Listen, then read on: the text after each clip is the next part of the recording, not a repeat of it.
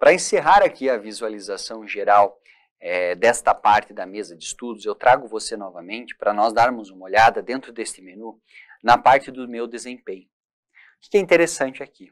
Nessa parte do meu desempenho, toda vez que você resolver questões lá na plataforma, você tem esse dashboard que vai indicar as questões que você resolveu semanalmente. Então vamos lá. É, na primeira semana aqui, de 16 do 8 a 22, eu resolvi só duas questões né, e tive uma taxa de acerto de 0%, uma questão administrativa, outra de processo civil.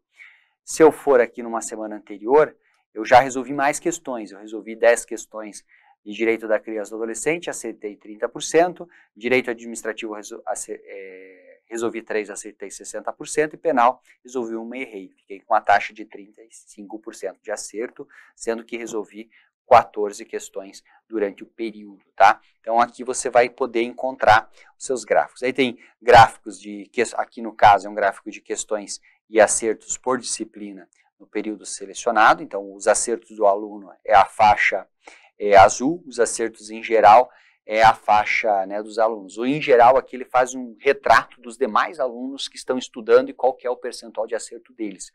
É evidente que aqui, né, ao mostrar isso para você agora, na minha experiência aqui, eu resolvi poucas questões aleatoriamente para poder mostrar aqui para você a plataforma. Quanto mais questões você fizer, melhor serão esses dados para você avaliar como você está comparativamente em relação aos demais alunos. Nós temos ainda, pessoal, nessa área aqui a evolução né, dos, do número de questões que você foi resolvendo em, em, razão do tempo. Então, por exemplo, na primeira, no dia 11 eu resolvi 13 questões, depois 15 questões. Então, se eu selecionar um outro período temporal aqui, né, por exemplo, de 2 a 8, eu não tinha resolvido nenhuma, né? Pegar aqui na última semana, que eu resolvi só duas, ele vai dizer propriamente os dias que eu resolvi essas questões, que foram no dia, foi no dia 16, tá? É, então, tem essa, é, essa visualização aqui também.